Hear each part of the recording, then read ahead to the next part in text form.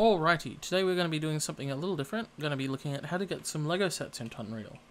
Uh, should be a bit fun. Uh, so obviously I had a the Lego Star Destroyer in Unreal before, so I thought I'd make a little tutorial on how I did that and how you can do your own stuff. Um, so we're going to need a few extra plug programs. Uh, we're going to need one called MLCAD, uh, which is like a Lego design program. Uh, you're going to need a Blender plugin uh, and we're going to need Unreal. I'm going to use Unreal 5, but it's up to you which Unreal, whether you use 4 or 5. Um, I will link MLCAD and the plugin for Blender in the video description. So, now, if we have a look at MLCAD, if I can, here it is. Alright, this is like a AutoCAD for Lego, is quite an amusing uh, thought in my opinion. Uh, so you, in here, you've got like a bajillion different bricks and we can build whatever we want. Um, there is also a wonderful catalog of pre-built models. Uh, as you can see here, uh, if I go out, here we go. So Lego City, Creator, Legoland, uh, Pirates, Simpsons, Star Wars, all of these awesome things. So uh, I'm going to go creator and I'm just going to have a look at, not creator, sorry, the modular buildings. There we go. Uh, let us grab a random one. Um, one up pet shop. Okay. Alright, cool. Ta-da! So now we have a, Lego pet shop. Classic sets. Uh, I wouldn't actually know. I don't own this one. Never owned one. Never been privileged enough to own one of these Lego sets. So, once you've either built your model uh, in this one, or found a model you like and done whatever changes you want to do in this program, uh, make sure it's saved as the LDR file, and basically we can pop over to Blender and import this as a model. So inside Blender, here it is, we are in Blender 3.0. Uh, I have the plugin installed, so what I can do is I can go File, Import, and down the bottom here we have the LDRAW file.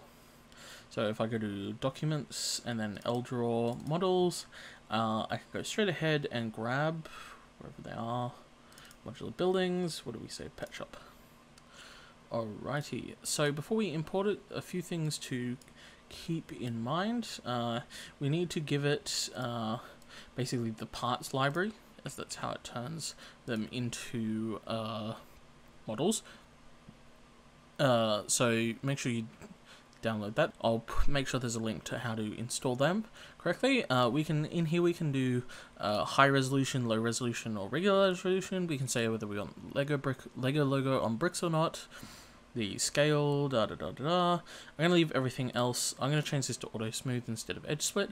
I'm gonna leave everything else as is and click import. Now just wait a second. That is finally imported. So now we have the Lego model as a 3D model. These are all, uh, you know, vertices and what have you. The classic way 3D modeling works. Uh, so if you need to make any alterations to the models, uh, now would be the chance to. Otherwise, we can just go ahead and continue our little journey. So what I want to do is export this out of Blender as an FBX. Uh, I'm going to save it on the desktop. This is called Pet Shop like so. Uh, in Blender's export settings for FBX, I just want to make sure instead of normals only, I have face. That'll make sure it carries across the normals of the model. Hit export, shouldn't take nearly as long to export as it did to import. Alright, now that it's exported, we can pop over to Unreal. Now, you're probably, your first instinct in Unreal is to just drag the FBX onto the content browser or hit import here and be done. However, I recommend not doing that. Uh, instead, we're going to create a folder called Pet Shop. Okay, like so. And we're going to import into the level instead.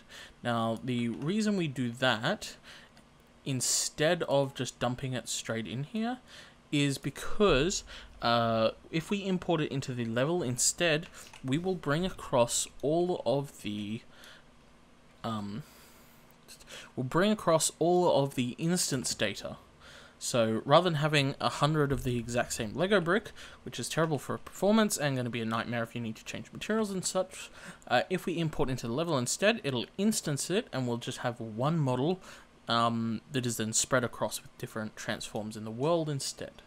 So to do that, we go File and we go Import into Level. I'm then going to choose the FBX, which is the Pet Shop one here, and I'm going to choose Pet Shop as where it's going to dump all the models when it imports it.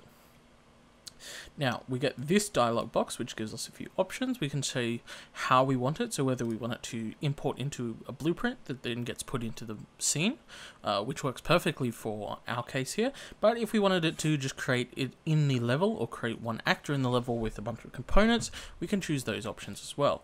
Have a few options for how we import things. Uh, under static meshes, I'm going to make sure we are importing the normals. Uh, and in materials, we can choose whether we want to import or um, not import all of these materials. Same thing here, we can untick if we don't want to import something in here. Now I'm going to hit import and wait. As you see, it's going to import 2,000 things. Alrighty, so now it is finished importing. It'll automatically open up the blueprint with the model in it. Uh, we've got to wait a bit because it's building the uh, various things, so mesh distance fields for the lumen lighting, cards for the content browser and compiling shaders. Uh, but we now have a pet shop here, the pet shop here, as a cool little blueprint. Can then let me get rid of that. So, uh, still compiling some shaders apparently, but that is how we get some Lego models into Unreal. There we go. Alrighty, so it took a little bit to compile and save everything, but now that it is finished, I should be able to move these about. These blueprints act strange.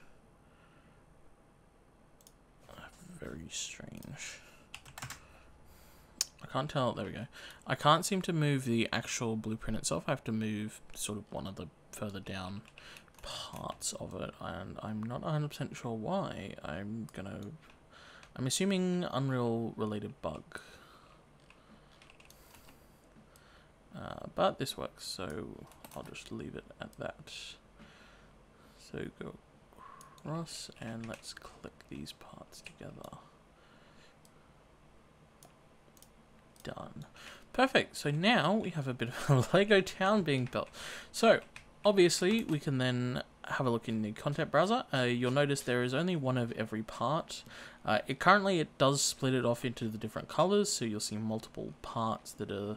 See, here's a blue hat and here's a white hat. Um, you could go through and sort of um, like if we right click it and we go asset actions and then replace references and then consolidate, what we can do is we can actually delete the spare one and combine them together. It just means you would have to go through and uh, sort of change the color either in the world outline or in the blueprint. Uh, so you could get extra, you know, a little extra out of that if you wanted to go through. However, yeah, we only have one of each color, so like we only have one Lego hand, you know, only one of these brick, this brick, even though I'm sure that this set has more than one of those bricks. Uh, then we have all our materials down here. So, this could definitely be use uh, better materials, uh, better shading, uh, however, that's not for this video. This video is just a quick look at how I got mine in in the first place. Uh, all I did to the Star Wars one was change some materials to emissive and change the roughness slightly to make them a little shinier. Other than that, I didn't do anything. There was no fancy PBR or anything on them. But just like that, you can get uh, some wonderful Lego town going in Unreal and with pretty decent performance. There you go, still hitting around the 80 mark, even though these are consistent of a lot of bricks and a lot of geometry that is probably not needed. Uh, so that is pretty cool. Oh, he's like painting.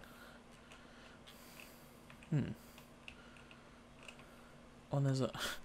No, now I'm just curious of these Lego sets. Um, awesome. So, I hope you enjoyed the video. Don't forget to uh, like and subscribe, and I'll see you in the next one.